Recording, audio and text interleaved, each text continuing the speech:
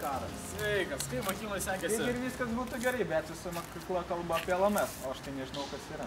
Aš kaip tik einu susirinkimą, gal nori prisijungti? Nežinau, ar jausiuos ten gerai. Žinoma, kad gerai, juk Lietuvos moksleivių sąjungos savanoriai linksmi, draugiški ir aktyvūs. E, be to, organizacija veikia visos Lietuvos mastu.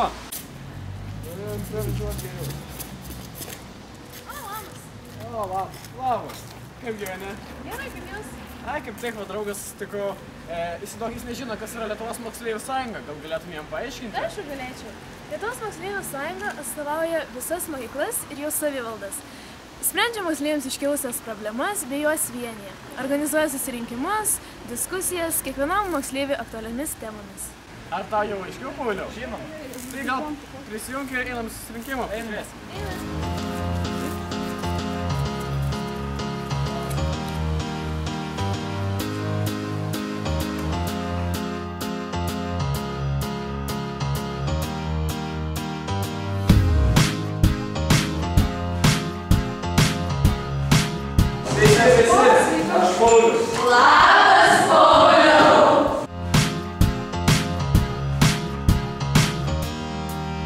Sveiki susirinkę Lietuvos moksleivių sąjungos susirinkimą ir šiandien šnekėsime apie mokinių savialdų formą bei ką šnekėsime nuvykę į mokinių savialdas. Galbūt kas turite klausimų iš praeitų susirinkimų? O, prisiminiau, kad vyks nacionalinis rudens forumas. O kas tai yra? Lietuvos moksleivių sąjunga turi keturis nacionalinius forumus. Tai rudens, žiemos, pavasario ir vasaros. Vasaros forumas vyksta stovyklos koledže.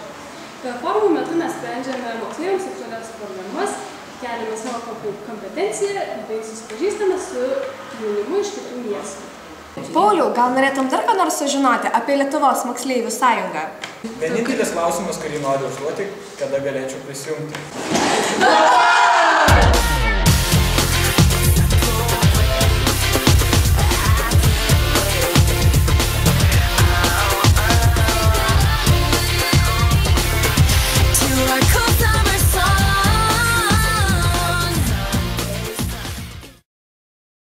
Ir šiandien šnekėsime apie...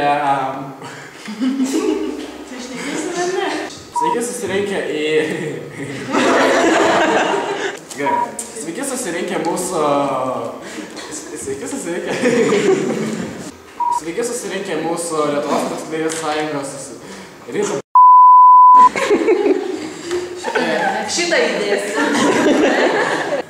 susirinkę kaip ir kiekvieną antradienį mūsų Lietuvos moksleivių sąjungos susirinkimą. Nors... Gerai.